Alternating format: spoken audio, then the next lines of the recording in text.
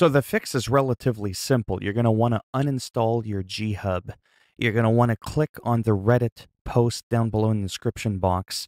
Click on this link and go back to version 2020.10.6293. And then you're going to want to go to the G Hub settings cogwheel right here. And you're going to want to disable enable automatic updates. And then when you click on your shit, you're actually going to be able to interact with it and see that it's not inactive. What a wonderful feeling that must be, being able to play with your gear, whatever it may be. That's it. That that's the video. So I plugged in my steering wheel a while ago when I bought the wheel about a month ago, and once in a while it updates and everything's fine. And I play American Truck Simulator.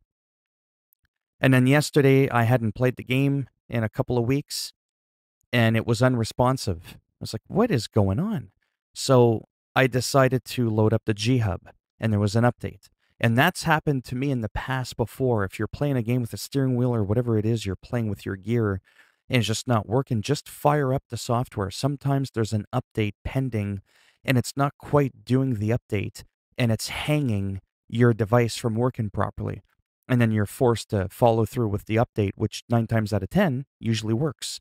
But in my case, it froze and crashed my computer and I was unable to load G Hub. I even reinstalled the uh, the software here. This version, which is a naughty version, it's not a good one, 2021.3.5164. It just it wouldn't load and I would double click the G Hub here and it just would not load. So anyhow, I went downloaded this version, the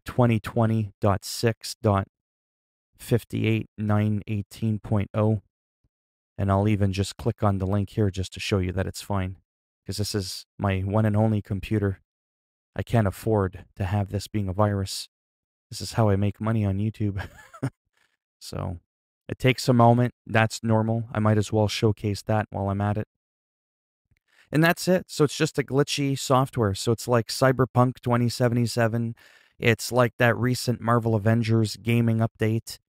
They just don't test their shit before they release it. Everybody and their mother's sister's aunt's cousin is having an issue. Download anyways. I'll go ahead and replace the one in the bracket with the one. There you have it. I just downloaded it. Did it? I'll run it as an administrator, like that really matters, and it tells me that the software already exists. Open G Hub to install updates. And that's it. I was actually starting to get some chest pains.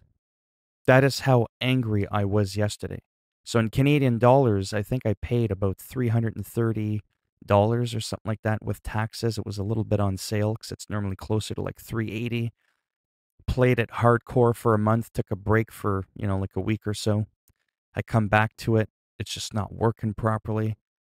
And it took me, by the way, this whole thing to try to figure it out and Googling through all the bullshit. It took me almost two hours. Two hours. I'm hoping in two minutes you're back up and running, except for if you actually watched my entire video, which I don't recommend you do, but if you made it this far, it's too late. So I'm going to end it here. If you have any additional questions, I mean, feel free to ask. I can't claim that, you know, I know it all and that I'm going to be able to help.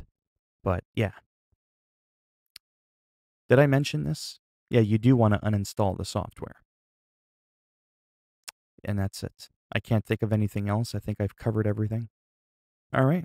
So if you liked the video, go ahead and give it a thumbs up. It greatly helps support the channel with the algorithm and making me just a little bit more relevant in the search results when people are trying to look things up on the internet. And if you didn't like the video, go ahead, give it a thumbs down. And I'll uh, not only snap it off in your ass, I'll make sure the next time you hit a button, you go for a setting here, you click on something, it just, uh, it electrocutes you. Plain and simple. Every time you touch the button, you get zapped. And if you want to uh, subscribe to the channel, I mean, naturally, that would be great. But if not, thanks for stopping by anyways. Take care, and maybe I'll see some of you in the next video. Bye for now.